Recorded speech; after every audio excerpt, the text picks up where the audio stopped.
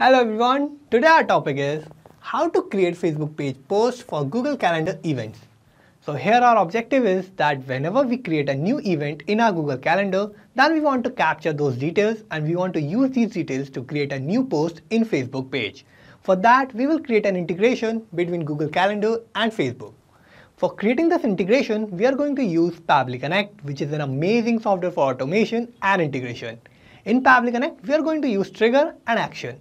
In Trigger application, I'm going to use Google Calendar. In Action application, I'm going to use Facebook. So how I am going to create this integration? For that, let me take you to my computer screen. I hope all you can see my computer screen. And today we are going to see that how I am going to create new Facebook page post for Google Calendar events. So here, whenever I will create a new event in my Google Calendar with all the details of my event, then I will capture these details and then I will create a new post on my Facebook page automatically. So here I'm going to build an integration between Google Calendar and Facebook page. And for creating this integration, I'm going to open a new tab and search for pabbly.com. And this will take us to this landing page of Pabbly. Here we have two options, sign in and sign up for free. If you don't have any account with Pabbly, you can just sign up for free and it will take only 2 minutes of your time and you will get hundreds of tasks free every month. Or if you already have an account, you can just sign in and you will get to see this page. So these are all the apps that Pabbly offers and we are going to use Pabbly Connect here. For that, I'm going to click here on Access Now button under Pabbly Connect.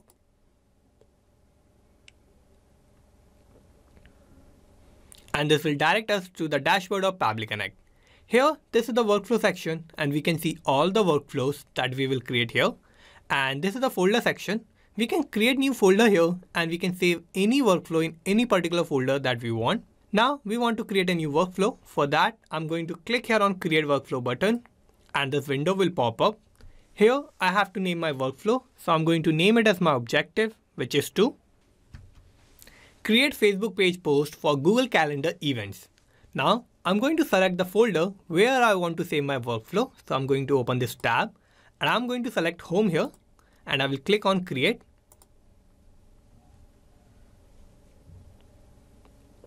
And this will take us to this most important window of our workflow. Here we have two boxes, trigger and action. So these are the two main principles on which our workflow works on. And trigger says when this happens, action says do this. So trigger is going to be the first step that will get executed in our workflow and action will just follow that. So I'm going to set up my trigger first and here my trigger application will be Google Calendar. So I'm going to search for that and I'm going to select this. Now I have to give a trigger event. So I will open this tab and new event will be my trigger event. So I'm going to select this and I will connect Google Calendar with Pabbly Connect. So I'll click here on connect I will click on add new connection and I will sign in with Google. I will click on allow to give access to my account. And my connection here is successful. Now I have to select my calendar. So for that, let's go to Google Calendar. And here these are my calendars and I'm going to use this demo calendar. So I will go back to Pabbly Connect and I will open this tab and here you will see all the calendars that you have in your Google Calendar account. And I'm going to use this demo calendar. So I will select this. And now I will go back to Google Calendar and I will create a new event.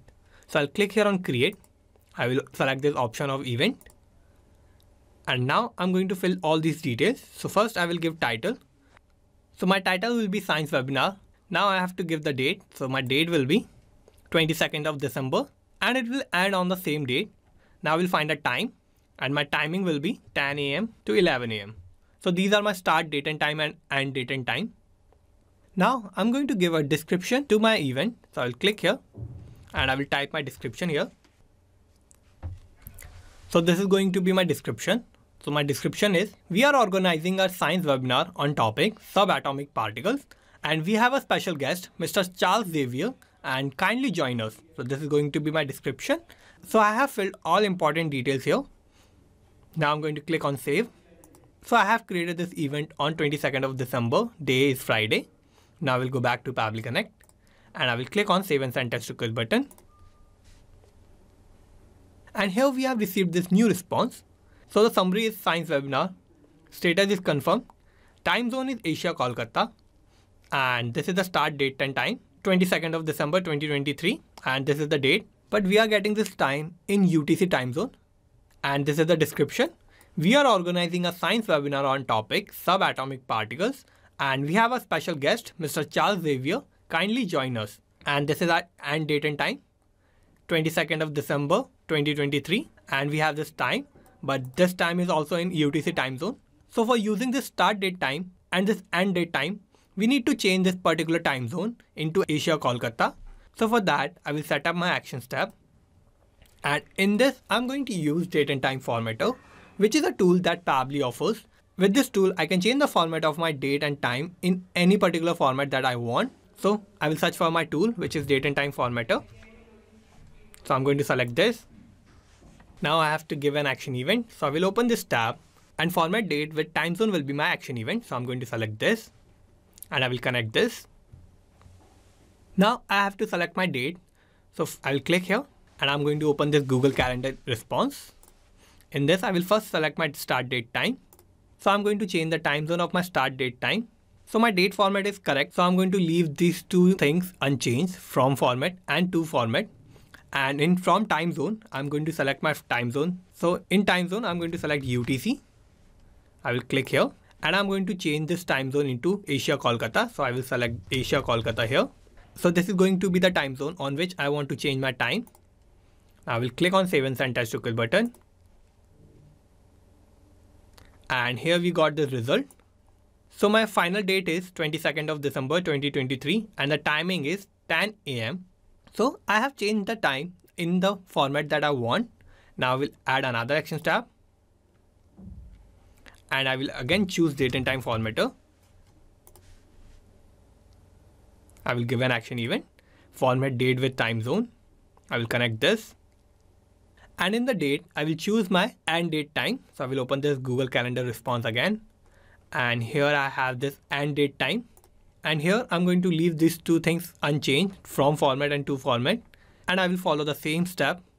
So here in from time zone I will open this tab and I will search for UTC time zone and in to time zone I will search for Asia Kolkata time zone.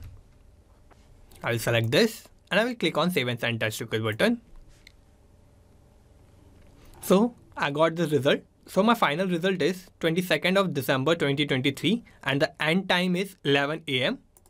So I've got my start date and time and end date and time. Now I'm going to add another action step. And in this, I'm going to create a new post by using the details that I got from my Google Calendar events. And here my action application will be Facebook pages. So I'm going to select this and I will give an action event. So I will open this tab and create page post will be my action event. So I'm going to select this and I will connect Facebook pages with Pabbly Connect. So I'll click here. I will click on add new connection and I will connect with Facebook pages. Now I will click on continue to give access to my account. So my connection here is successful. Now I have these three details to create a new post. So first I have to select my page on which I want to create a post. So I'll go back to Facebook and this is my Facebook page and it is named as Pabbly. So I'm going to use this page to create a new post. So I will go back to Pabbly Connect and I'm going to open this tab and in this tab you will find all the pages that are connected with your Facebook account and I'm going to search for my Facebook page here. So my page name is Pabbly. So I'm going to select this Pabbly page now I have to give message and in message I will give the content of my post and for the content of my post I will map the details from the event that I have created in Google Calendar. So I'm going to use mapping here. So what mapping is? Mapping is a technique through which I can retrieve the data from the previous tabs and the data that is changing will get replaced with the new data in the real time. So for mapping, I'll click here. I will open this response. So first I will give the title so this is my title, which is science webinar. I will give a space and I will map the description of my event. So this is my description. So I'm going to select this. We are organizing a science webinar on topic subatomic particles and we have a special guest, Mr. Charles Xavier. kindly join us. I will give a space and I will type date and time. I will give a semicolon and I'm going to map my start date and time and end date and time. And I have this and I have my start date and time and end date and time in this date from the result of date and time formatter. So I'm going to open this response for start date and time. So this is my start date and time space. I will give a dash again a space and I will map my end date time. So this is my end date time. So I have mapped all my details here and this is going to be my post. So it will start with science webinar and then the description and the details of date and time. If you have a particular link URL, you can fill this detail. I don't have any link URL, so I'm going to leave this blank. And for creating the post, I will click on save and send as request button.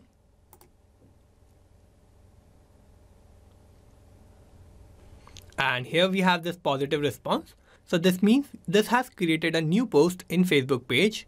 So to check this, let's go to Facebook. I'm going to refresh this page. And here in the post section, we can see that I have created this new post. So I'm going to click here on see more. And this is my post. So it starts with science webinar. We are organizing a science webinar on topic subatomic particles. And we have a special guest, Mr. Charles Xavier. Kindly join us. And we have this date and time, which is 22nd of December 2023. And the time is 10 a.m. And the end date and time is 22nd of December 2023, 11 a.m. So these are the same details that we have in my Google Calendar event and I have used these details to create a new post in my Facebook page. So this was our objective. So our integration between Google Calendar and Facebook page is working successfully. Now let's go back to Pabbly Connect.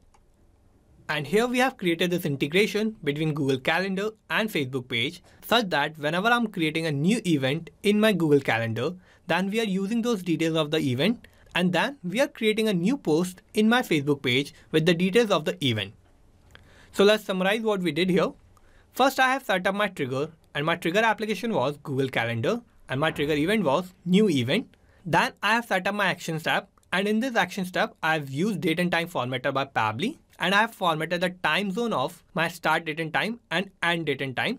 Then I have set up my last action step and in this my action application was Facebook pages and my action event was create page post. So this is how I have successfully created this workflow and you can also create this workflow by following all the steps that I did in my workflow and I'm also going to put the link of my workflow in the description so you can check it out from there and thank you for watching this video. Not just these applications, you can automate and integrate a lot more applications like this using Pabbly Connect. If you need any help or if you have any doubt, you can email us at support at pabbly.com. If you have any queries, you can post them at forum.pabbly.com or if you have any issue with the pricing of Pabbly, you can connect on this link. And if you like this video, please like, share and subscribe. Thank you.